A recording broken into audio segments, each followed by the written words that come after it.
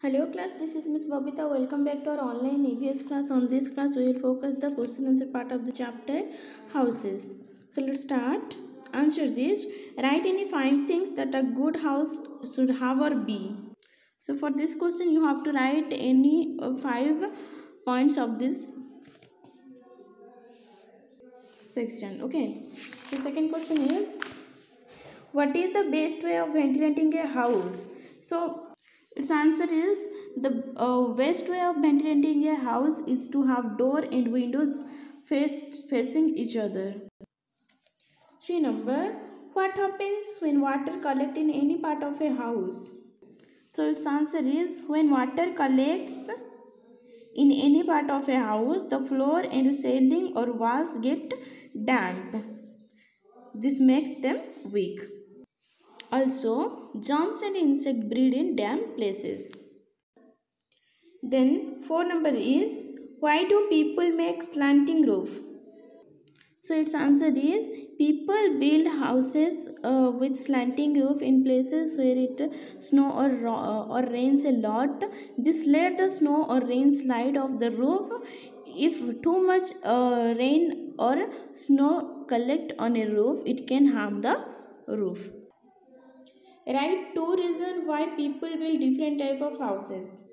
So you may write uh, natural conditions and uh, um, available material or available space, available, the way people live, cost, any of two reasons why people build different type of house. Okay, then write true for true or false. People who live in places which get flooded build houses on stilts. People who live in places which get flooded build houses in steel. जहाँ पर flood होता है वहाँ पर घर steel से बनाते हैं लोग So ये true है then you have to write true. Second is in places where there are earthquake people build strong houses with stone. No it's false. Thatched hut have roof of concrete. It's also false. Four number cement is used to join wood. No it, it is used to joint brick or stones. 5 number concrete is made by mixing cement chips of uh, stones and water. It is true. Fill in the blanks. Turning on lights during the day wastes electricity. Dash is the art of building. Architecture is the art of building. The roof of a house should be dashed so that rainwater does not seep in. So the roof of the house should be waterproof. Waterproof. Dash are people who move from place to place, nomads. Rains should be covered so that dash do not breed in them. Mosquitoes. Okay. Mosquitoes and flies. Take the correct answer. Slums are usually found in town and cities, village, markets. It's town and cities.